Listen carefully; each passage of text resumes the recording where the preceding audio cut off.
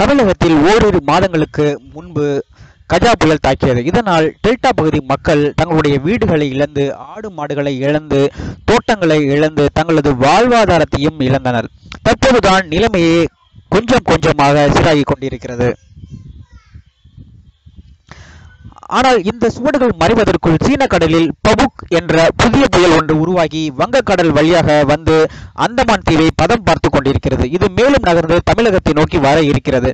இதனால் தூத்துக்குடி துறைமுகத்தில் இப்பொழுதே இரண்டாம் எண் புயல் எச்சரிக்கை கொண்டு ஏற்றப்பட்டுள்ளது.